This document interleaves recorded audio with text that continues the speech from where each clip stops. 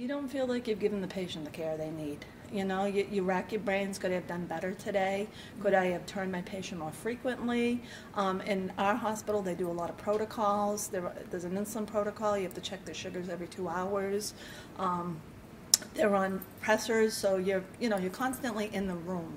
And it's just like you, you just hope you've done enough for your patient to keep that patient alive and to get them better and to get them home, or just to get them out to the floor, where you know they're still pretty sick when they leave the unit because it's a hurry up, let's push them out so we can get somebody else into this into this bed. So it's it's very frustrating some days, very frustrating.